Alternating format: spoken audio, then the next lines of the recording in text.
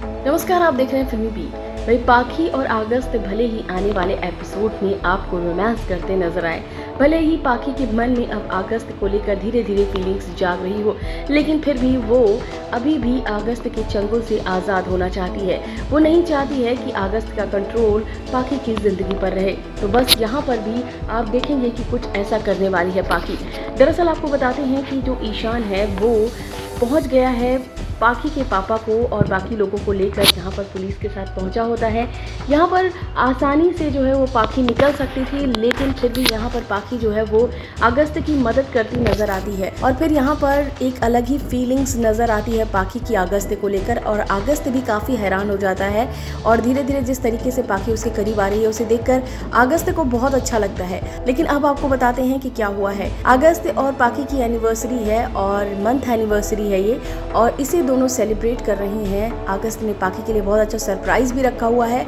आप देख सकते हैं, बहुत ही अच्छा सरप्राइज़ रखा है। लेकिन आपको बता दें कि इस एनिवर्सरी पर होता ये है कि बहुत ही अच्छा माहौल होता है और अगस्त को लगता है कि पाखी भी बहुत खुश है। लेकिन पाखी यहीं पर एक चाल चलती है और पाखी जो है वो अगस्त के एक ड्रिंक में कुछ मिला देती है और फिर इसके बाद यहाँ पर अगस्त जो होता है वो बेहोश हो जाता है और फिर उसे जकड़ देती है बेड़ियों में और फिर यहाँ पर किसी तरीके से यहाँ से निकलने की कोशिश करती है। वो कहती है कि अब बहुत हो गया, तुमने मेरी ज़िंदगी में बहुत सारा कंट्रोल कर लिया, अब और नहीं।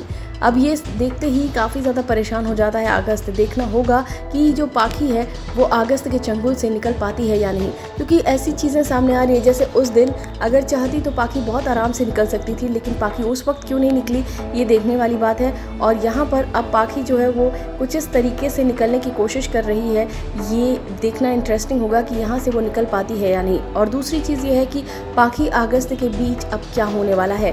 क्या पाखी जो है वो पूरी तरीके से अगस्त को माफ़ कर देगी? क्या पाखी और अगस्त के बीच अच्छे रोमांटिक मोमेंट्स आप सबको देखने को मिलने वाले हैं? तो ज़रूर ऐसा होने वाला है, क्योंकि पाखी और अगस्त ही इस जो सीरियल है, उसके लीड्स हैं और ज़ाहिर तौर पर दोनों की केमिस्ट्री जो है वो काफ़ी ज़्यादा अच्छी लगती है और फैंस भी अगस्त और पाखी को देखना चाहते हैं। पाखी को भी बात पता है कि अगस्त से ज़्यादा प्यार करने वाला उसे कोई मिल नहीं सकता है। यहाँ पर जो फैंस हैं, वो भी अगस्त को लेकर बहुत सारे सिंपति दिखाते हैं क्योंकि उन्हें भी पता है कि अगस्त जो है वो पाखी को बहुत प्यार करता है तो पाखी को अगस्त को माफ़ कर देना चाहिए और पाखी और अगस्त की केमिस्ट्री दिखनी चाहिए। फना इश्क में मर जावा सीज़न थ्री में बहुत सारे ट्विस्ट एंड टर्न्स आने वाले हैं और आप सबको पता ही है कि जो अगस्त है उसकी सौतेली माँ भी आ चुकी है, युग जो है उसका सौतेला भाई है। तो ये सारी चीज़ें जो है आपको आने वाले ट्रैक में देखने को मिलने वाली है। फ़िलहाल यहाँ पर पाखी ने जो है ये एक्शन लिया है और एक बार फिर से अगस्त को बेहोश किया है ड्रिंक में कुछ मिलाकर। फ़िलहाल इस वीडियो में बस इतना ही।